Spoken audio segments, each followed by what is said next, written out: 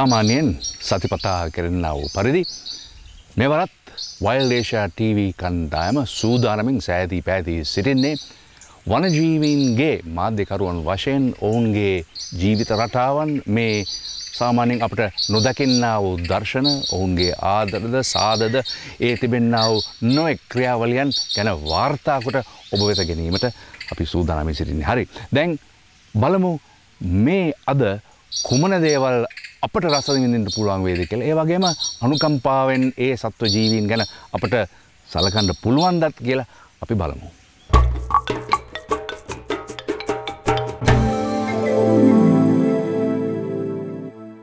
ආදරය කියන එක මිනිසුන්ට වාගේම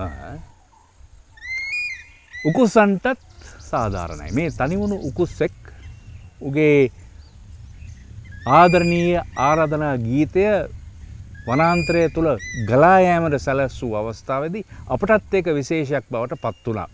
අප එක අහලා ඔහු පිටි පස්සේ කැලෑවේ ගිය.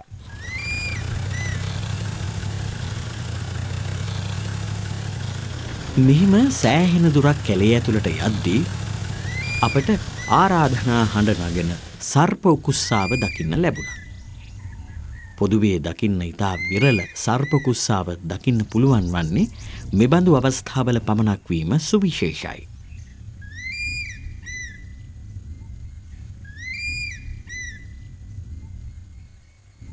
කොහොම වුණත් සර්පකුස්සගේ ආදර ආරාධනාව අපට ගියේ නෑ.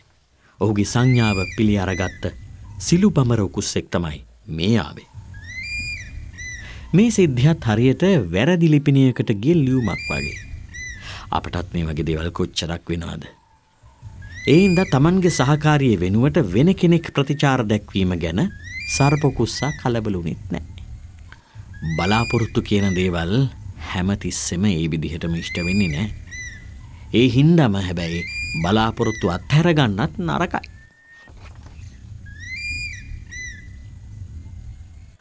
අලිය කොච්චර විශාල සතෙක් වුණත් තනිකඩ අලියාට තියෙන්නේ ඉතාමත්ම පුංචි ලෝකයක්. ඌට කන්නයි බොන්්ඩයි නාන්්ඩයි තිබුණොත් ඒක ඕන තරන් සෑහේ. දැන් මේ රැලෙන් වෙන් වෙලා නිරපා දමපු අලියට මේ අවස්ථාවදී කිසි කවුරුත් ඇත්තේ නැහැ. ඒ වෙලාවේ තමයි මඩින්නාන්න ආසාාවෙන් සිටින්නේ. මේ තනිකඩ අලියෝ රස්තියාදුකාරය වගේ මඩ නාන්නත් ආසයි. හරිත ගෙදරින් පෙරවෙලා ගිය ඉලන්ධාරියෙක් වගේ. මඩනා ගැනීම අලින් අතර බහුලව දකින්න ලැබෙන ක්‍රියාවක්. සිය ගතපුරා මඩ ඉහ ගැනීමෙන් ඔවුන් අසීමිත තෘප්තියක් ලබන බව පෙනෙනවා. ඇතැම් විට කුඩා ක්‍රමීන්ගෙන් වැලකී සිටීමට ගන්නා පියවරක් හැටියටත් එය අපට සලකන්න පුළුවන්. අරමුණක් නැති ඉලක්කයක් නැති මෙබඳු අලින් හමුවන්නේ ඔවුන්ම අලි රැලෙන් පිටමං කරනු ලබන නිසයි. අලි රැලක සිටිය යුත්තේ ගැහැණු සතුන්ය පමණක් යන සිද්ධහන්තය නිසා. තරුණ පිරිමි අලින්ට රැලින් ඉවත්වීමට සිදුවෙනවා. මෙලෙස තනි වූ අලින් ඇතැම් විටක තනිකම නිසාම බෙහිවින් නපුරු වන බවද පැවසෙනවා.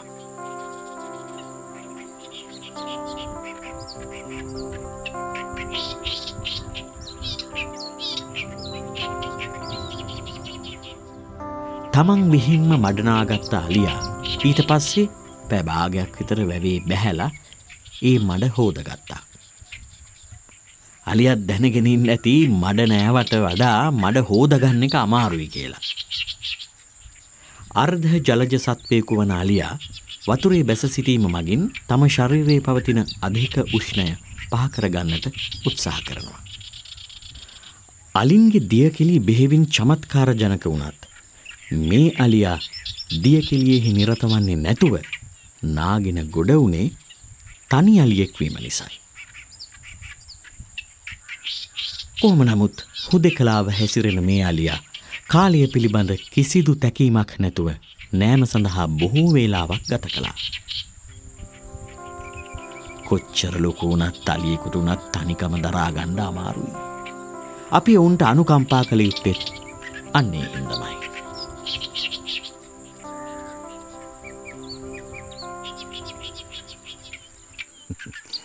මේ කතාවේ තියෙන හැටියට මිනිසා පරිනාමය වෙලා තියෙන්නේ වඳුරාගෙන්. හැබැයි වඳුරාවක දන්නේ නෑනේ. මේ අපි වටපිටාවේ යනකොට අපට හිතෙන්ඩ සිද්ධ වෙනවා මේ සමහරක් දර්ශන දැක්කහම වඳුරා පරිනාමය වෙලා තියෙන්නේ මිනිසාගෙන් කියලා. ඒ මාර්ගෙන් වෙන්ඩ ඇති මේ අනුන්ට අයිතිදේ මෙහෙම හොරගං කරන්න ඉගෙනගත්. ඔන්න මහා වනාන්තරයේ මායිමේ තිබුණු රතුලූුණු වගාවකට කඩා පෙන්න වඳුරු රැලක් ගොවිරාලට හොරෙන් රතුලූුණු භුක්ති විඳින්න පටන් ගත්තා. ඒ අය දැනගෙන හිටියා තමන් කරන්නේ හොරකමක් විත්තිය. ඒත් ඉතින් මිනිසාගෙන් පැවතගෙන එනවාය කියන වඳුරන්ට ඒ අලුත් දෙයක් නෙවෙයි.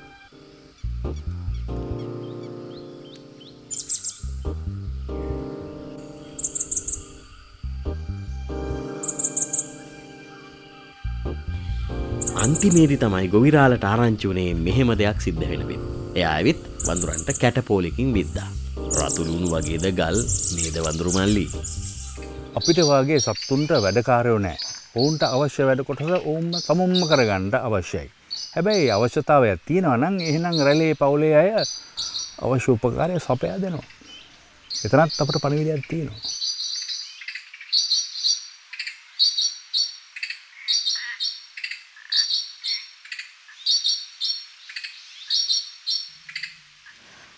මවට දුවක මිස වෙන කවුද කියලා අපේ කතාවක් තියෙනවා. මේ අලි අම්මයි දුවයි ගැන කියන කතාවත් ඒ කියමනට සම්බන්ධයි. අලි අම්මා තමන්ගේ නලල කැසවා. අලි දුව ඒක දැක්කා. අම්ම නලලින් හොඳ වැල ගන්නවත් එක්කම අනේ අලිදුව අම්මගේ නලල තම හොඳ වැලෙන් කහන්න උදව් වුණා. මව්වරුන් සහ දූවරුන් අතර පවතින සෙනෙහස පිළිබඳ මේ අපූරු සබැඳියාව ඔබේ හිතේ ගැඹුරුම පත්ලී රැඳී ඇති දරුවන් ගැන සෙනෙහස ආදරණීය විදිහට ස්පර්ශ කරන රූපමය අත්දැකීමක්ම වේවි. මෙබඳු දුව කලද මවක සිටීනම් ඇය හරි වාසනාවන්තයි. දුවන්න පුළුවන් වෙන්න ඉතාමත්ම ශක්තිමත් කකුල් හතරකුත් තියෙනවා. නිකන් දුවන්න නෙමෙයි බොහෝ වේගෙන් දුවන්න. ඒ වගේම ආරක්ෂාවට අන්තට්ටුවකුත් තියෙනවා. හැබැයි මේ වනාන්තරයේ සත්තු වර්ගයක් ඉන්න හැම වෙලාවම පයෙන් ඉන්නේ. පයෙන්. හිතන්න පුළුවන්ද මොනවද ඒ සත්තු වර්ගය කියලා?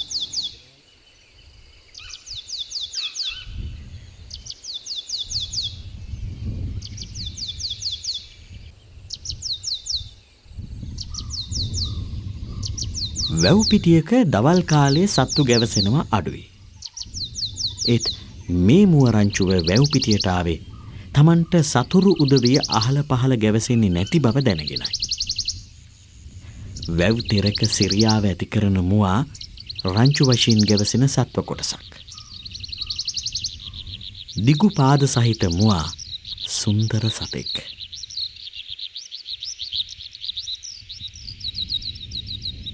පිරිමි මුවාගේ විශාල ලෙස වැඩුණු අංතට්ටුව අතුපතර විහිදී වැඩී තිබෙනවා. උණුසුම් ලේ සහිත විශාල ක්ෂීරපායි සත්ව කණ්ඩායමට අයත් වන මුවා මිහිතලයේ විසෙන පෞරාණික සතෙක් විදිහටත් සැලකෙනවා.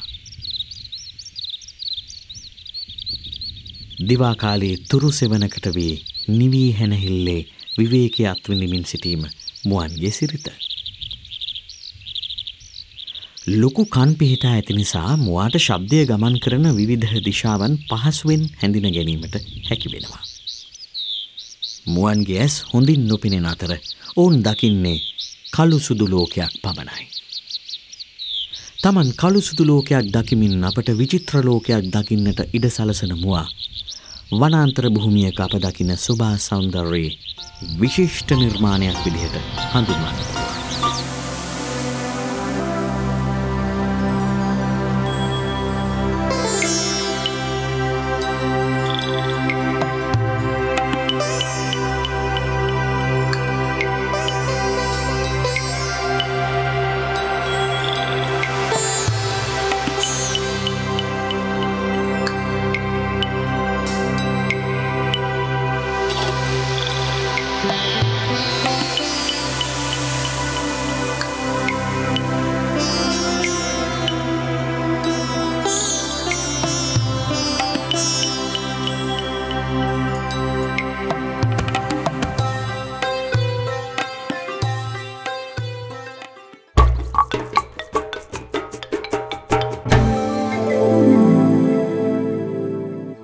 ආදරයට ලොකුකම නැහැ කියලා කියනවා. දැන් මේ අලින් කොච්චර ලොකු වුණත් පොඩි ළමයි වගේ තමයි ආදරය කරන්න ගියාම ඒකත් බලායින්ට ඉතාමත් සුන්දරයි. අපිත් ආසයි. මෙහෙම ආදරය කරන අලින්ටත් අපිත් ආදරය කරනවා නම් එහෙනම් මේ මේ මහා වනන්තරවල ඉන්න අලින්ට මහලොකු සෙතක් තමයි වෙන්නට යන්නේ. ලෝකයේ අලි සම්පත වර්ගීකරණය වන්නේ අප්‍රිකානු අලි සහ ආසියානු අලි විදිහට. වාසභූමිවල පාරිසරික ස්වභාවය අනුව ආසියානු අලි අප්‍රිකානු අලින්ට වඩා වෙනස් වෙනවා.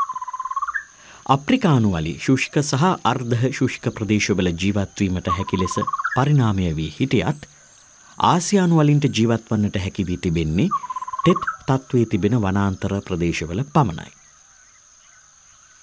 විද්‍යාඥයන්ගේ අදහස වන්නේ ආසියානු වලි සිසිල් තත්ත්වයන්ට අනුව පරිනාමය වී ඇති බව.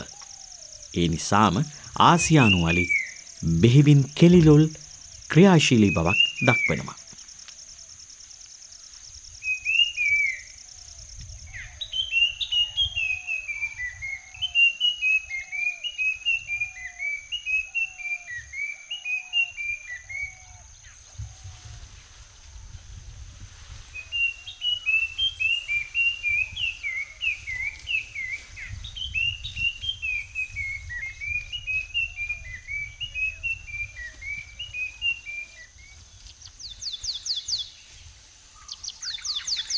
අප මේ දකින්නෙත් හරිත වනතලාවන්හි නිදැල්ලේ ක්‍රියාශීලීව හැසිරෙන අලින්ගේ ආකර්ශනීය ජීවන රටාවක්.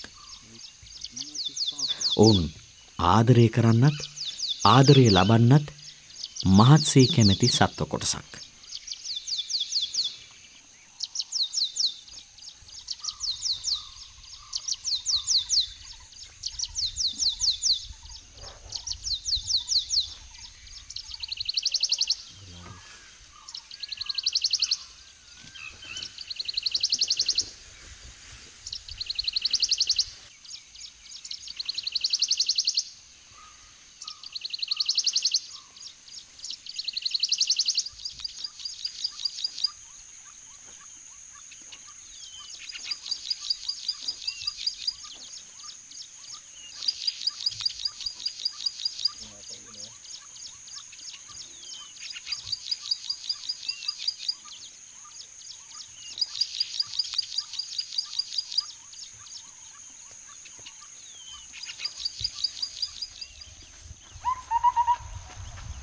තම ආලිංගනයන් තුළින් හැඟීම් පවසන්නටද ඔවුන් සමත් වෙනවා.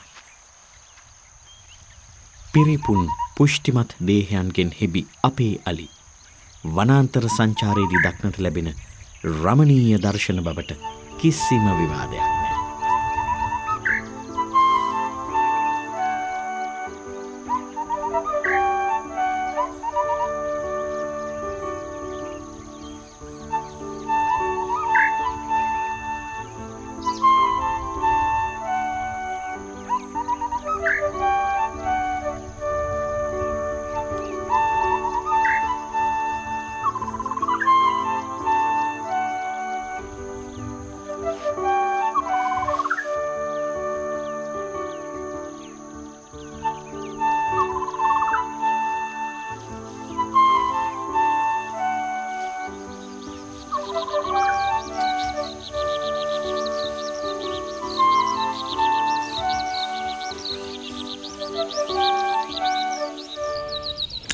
කුරුල්ලු ලෝකේ නම් හරිම සුන්දරයි. මේ ලොකු කුරුල්ලෝ විතරකුත් නෙමේ පොඩි කුරුල්ලොත් ඉන්නවා. මේ බලාගෙන යනකොට කොච්චර පොඩි වුණත් ඒ ප්‍රමාණයට නෙමේ මේ කතාව මේ පොඩි කුරුල්ලෝ හුඟා කතා කරන්න තියෙනවා.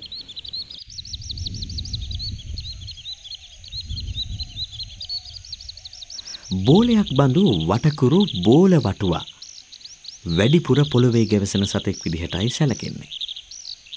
පිරිමි සතාට වඩා ගැහැණු සතා ශරීර ප්‍රමාණයෙන් විශාලත්වයක් ගන්නවා.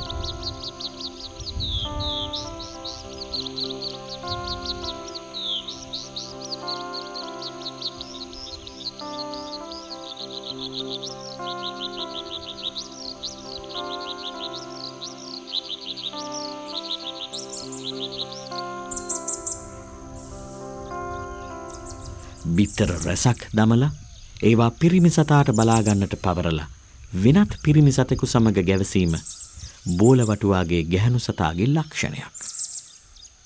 පැටවුන් රැකබලා ගැනීම පැවරෙන්නේත් පිරිමි සතාටයි.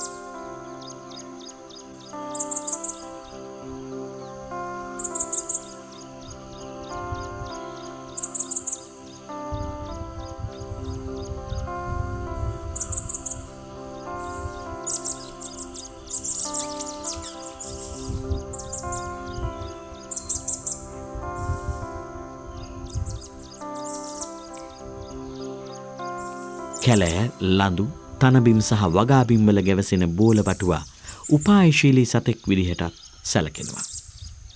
බෝලබටුවා ගැන අහලා තිබුණත් දකින්නට වැඩිපුර නොලැබෙන සතෙක් විදිහටයි සැලකෙන්නේ.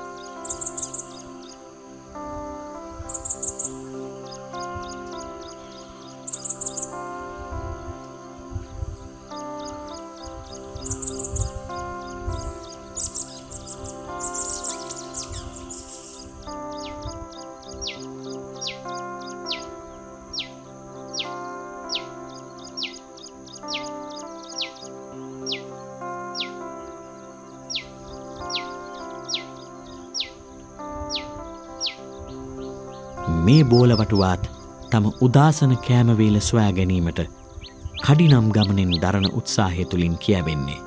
කෙතරම් කුඩා වුනත් තමන් අලස නැති ක්‍රියාකාරී සතෙක් බවයි.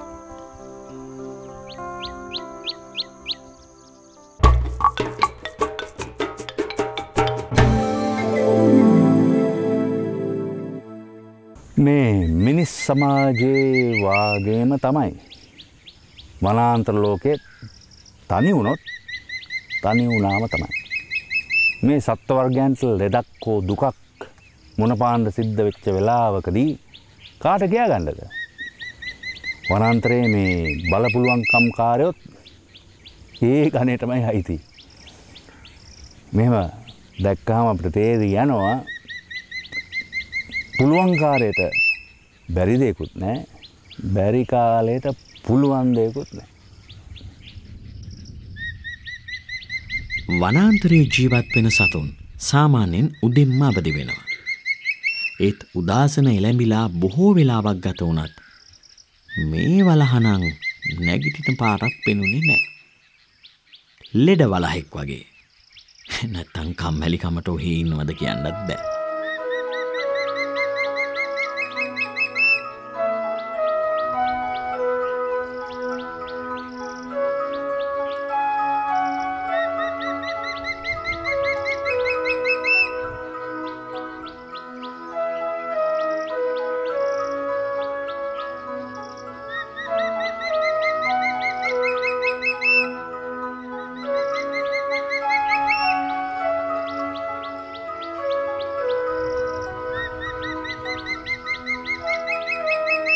වලහ නැගිටලා ඇවිදිනකොට තමයි අපටත් තේරුණේ මොකක් හරි ආබාධයක් වෙච්ච වලහෙක් කියලා. කලින් දවසේ රෑ චණ්ඩිකමක් කරන්න ගිහින් වෙච්ච දෙයක් වගේ. වලස්සාමි අමාරුවෙන් නැගිටලා ගාට ගාට ඇවිදින්න පටන් ගත්තා. වලසා නැතම් වලහා වනාන්ත්‍රයේදී හමුවන නපුරුම එවගේම දරුණුම අනතුර ලෙස සැලකෙනවා. විශේෂයෙන් පැටවුන් සමග ගැවසෙන වලසුන් දරුණු බව කියවෙනවා. වැලහින්න හඬන්නට දක්ෂ සතෙකු ලෙසයි ජනවහරි කියවෙන්නේ. මේ වලසා නම් කොයි තරන් දරුණු ආබාධයකින් පෙළුණත් නාඩන්නේ පිරිමි සතකු විය හැකි නිසයි. වසර පහළොවේ සිට තිහ දක්වා වන වලසාගේ ආයුකාලය වෙනත් සතුන්ට සාපේක්ෂව බලන විට කෙටි. බොහෝ වෙලාවකට පස්සේ අමාරුවෙන් නැගී සිටි වලසා කෑමට යමක් සොයාගෙන පිටත් වුණා. රජෙක් වුණත් ලෙඩෙක් වුණාට පස්සේ කැලේදි මොනවා කරන්නද? තමන්ගේ කෑමත් තමන් හොයාගන්න එපායි.